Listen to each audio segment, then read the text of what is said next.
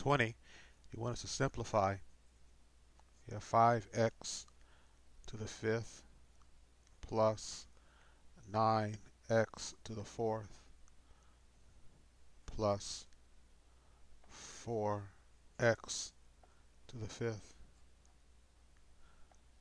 plus 2 plus 8x to the fourth.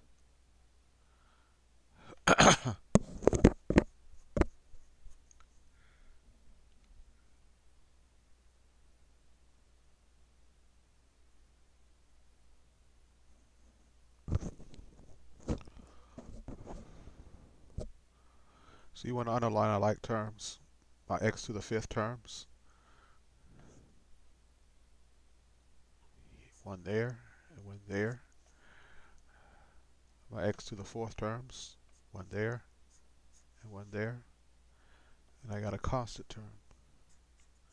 Now I want to get my like terms next to each other. So I see a 1 bar and another 1 bar.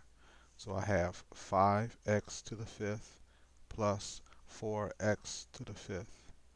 Now I want to get my two bars together. 9x to the fourth plus 8x to the fourth.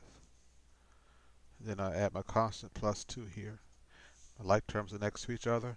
5x to the fifth plus 4x to the fifth is going to be 9x to the fifth.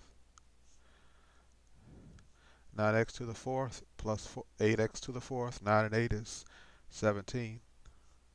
17 x to the fourth plus 2. And this is my answer here.